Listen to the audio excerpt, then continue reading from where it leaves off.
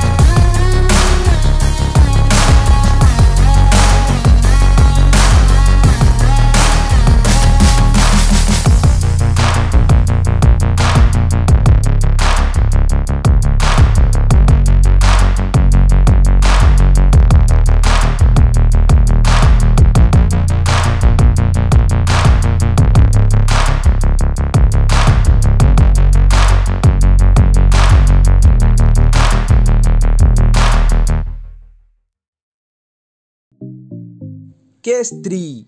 அலெக்ஸ்னு ஒருத்தர் சூசைட் பண்ணிக்கணும்னு பத்து மாடி பில்டிங்கில் ஏறுறாரு. அந்த பில்டிங்கோட எயிட் ஃப்ளோர்லேயே சேஃப்டி நெட் இருக்கிறது தெரியாமல் மேலே இருந்து குதிக்கிறாரு. கரெக்டாக சேஃப்டி நெட்லேயே